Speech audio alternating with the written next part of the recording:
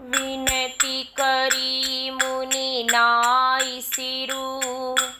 कह कर ज़ोर बहोरी रामा। कह कर जोरी बहोरी। चरण सरोरुह नाथ जनी। कबहू तजे मति मोरी सियावर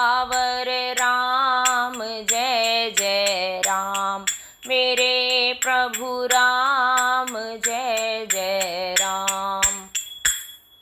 मुनि ने इस प्रकार विनती करके और फिर सिर नवाकर हाथ जोड़कर कहा, हे नाथ, मेरी बुद्धि आपके चरण कमलों को कभी ना छोड़े।